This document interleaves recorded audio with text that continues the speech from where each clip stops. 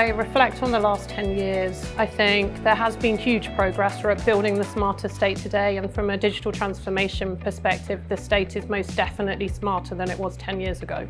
I think we need to recognise no single organisation has all of the answers and the progress that's been made in the last decade has been delivered by organisations working together. I also think it's important for government to understand how some of industry's contribution can be applied to driving forward the smarter state of the future.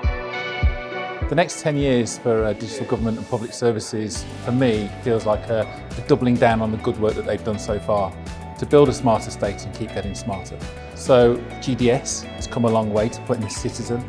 and ethics at the heart of all the services that government are building. But I believe government can go further and start to join those services up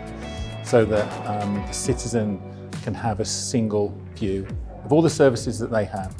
rather than having to go into multiple systems and make things easier for them.